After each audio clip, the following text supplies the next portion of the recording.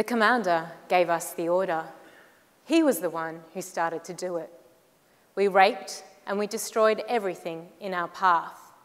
When we rape, we feel free. These recent quotes from soldiers from the Democratic Republic of Congo are a heartbreaking reminder that rape remains as a weapon of war and that women continue to suffer when soldiers and their commanders are not brought to justice.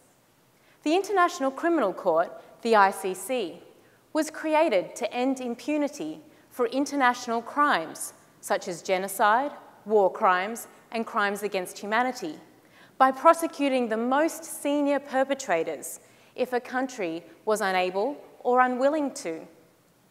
But after 11 years, the court has convicted only one person. So, how can the ICC, with its limited capacity, help deliver justice for victims of sexual violence? Earlier this year, I interviewed victims, prosecutors, judges, and government officials in Colombia and Guinea, where hundreds of citizens have suffered crimes against humanity or war crimes, including rape. But in both countries, the governments are reluctant to prosecute because the most senior perpetrators are still politically powerful.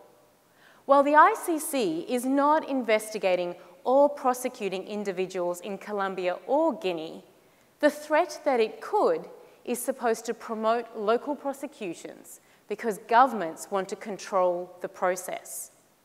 The ICC has visited both countries to meet with government and civil society to examine the local prosecution process and to share expertise.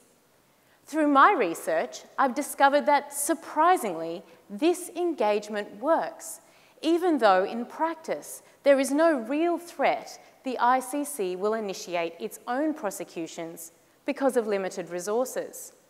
In both Colombia and Guinea, lawyers told me without ICC pressure, there would be no prosecutions at all. But victims of rape told me that their crimes had not been prosecuted, despite ICC engagement. My research is significant because it demonstrates how the ICC can do more to encourage local prosecutions of international crimes. More specifically, my data demonstrates that the ICC needs to focus on sexual violence crimes in its dialogue with national governments to help persuade them to deliver justice so that soldiers and their commanders learn they will lose their freedom for their crimes. Thank you. Uh, thank you. Um, before we announce the winner of the Aspire Award, once again, I'd like to thank each and every one of you for the hard work and effort that you guys put in. It must have been amazing how many times you guys looked in the mirror and goes, is it three minutes yet? Is it three minutes yet? they were all very motivating and inspiring. Thank you.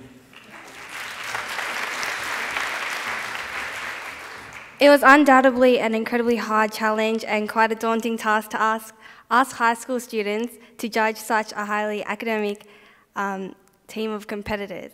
The way we came to the conclusion was to give each speaker a, a mark of 15, five marks for communication, five marks for comprehension, and five marks for engagement. And the Aspire Award goes to a person who brought up the importance of providing international justice in regards to sexual victims in order to prosecute other major criminals. Her topic was very moving and well presented. A massive congratulations to Amrita Kapur.